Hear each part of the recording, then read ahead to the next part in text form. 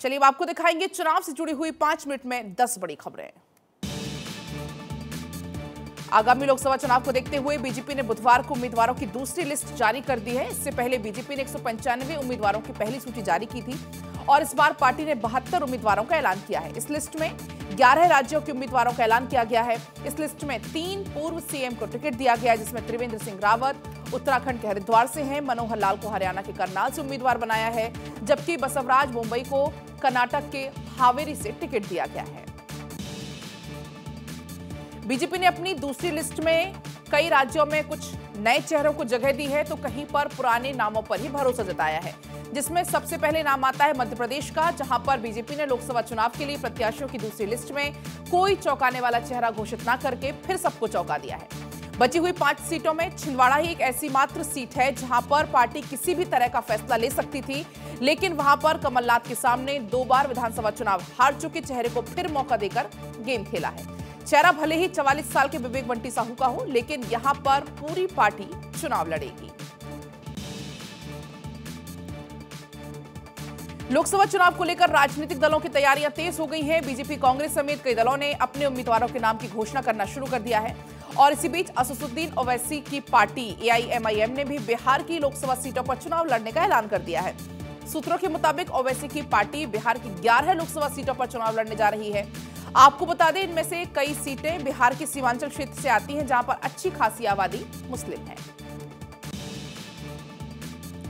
लोकसभा, विधानसभा और पंचायत चुनाव एक साथ कराने की संभावनाओं को लेकर बनी पूर्व राष्ट्रपति रामनाथ कोविंद की अध्यक्षता वाली समिति ने एक रिपोर्ट तैयार कर ली है।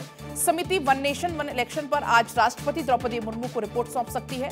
सूत्रों के मुताबिक इसमें लोकसभा, विधानसभा और स्थानीय निकाय चुनाव के लिए एक मतदाता सूची रखने की सिफारिश की जा सकती है। साथ ही वन नेशन, वन इलेक्शन के लिए संविधान में संशोधन की सिफारिश की भी संभावना है।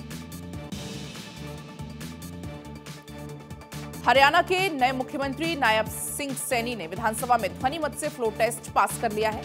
विश्वास प्रस्ताव में चर्चा के दौरान कांग्रेस नेता पूर्व सीएम भूपेन्द्र सिंह हुड्डा ने सीक्रेट वोटिंग कराने की मांग की थी, लेकिन स्पीकर ज्ञानचंद गुप्ता ने इसे नहीं माना। फ्लो टेस्ट के बाद सदन की कार्यवाही अनिश्चित काल के लिए स्थगित कर दी गई। इस बीच पूर्व मुख्यमंत्री मनोहर लाल ने विधायक पद से इस्तीफा दे दिया। उनके इस्तीफे से खाली हुई करनाल सीट से अब सीएम नायब सिंह सैनी उपचुनाव लड़ेंगे। पंजाब में कांग्रेस नेता नवजोत सिंह सिद्धू की ने आलाकमान को लोकसभा चुनाव के साफ़ इनकार कर दिया है। नवजोत सिंह सिद्धू पटियाला से कैप्टन अमरिंदर सिंह की पत्नी और संभावित बीजेपी उम्मीदवार परनीत कौर के खिलाफ चुनावी मैदान में कांग्रेस की आलाकमान की तैयारी थी। सिद्धू ने कैंसर से पीड़ित अपनी पत्नी के इलाज के लिए समय देने और पत्नी के स्वास्थ्य का हवाला देते हुए चुनाव लड़ने से इनकार कर दिया है। जानकारी के मुताबिक कांग्रेस इस बार पंजाब के सभी मौजूदा सांसदों को टिकट दे सकती है।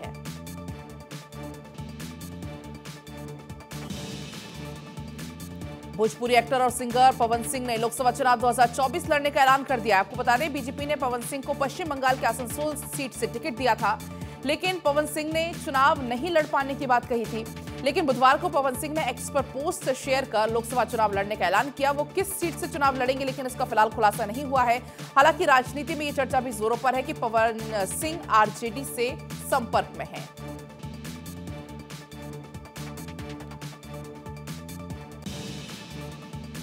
लोकसभा चुनाव को लेकर कांग्रेस ने बड़ा दाव खेला है। राहुल गांधी ने भारत जोड़ो न्याय यात्रा के दौरान महाराष्ट्र के धुले में नारी न्याय स्कीम की घोषणा की है और उसके साथ ही कांग्रेस अध्यक्ष मल्लिकार्जुन खड़गे ने एक वीडियो भी शेयर किया है। और कांग्रेस का इसमें कहना है कि नारी न्याय से देश की महिलाओं के लिए समृद्धि का द्वार खुलेगा। नारी न्याय के तहत केंद्र सरकार की नौकरियों में महिलाओं को 50 फ़ीसदी हिस्सेदारी की भी बात इसमें सामने आई है। और गरीब परिवारों की एक महिला को हर साल एक लाख रुपए दिए जाने की बात भी इसमें शामिल है।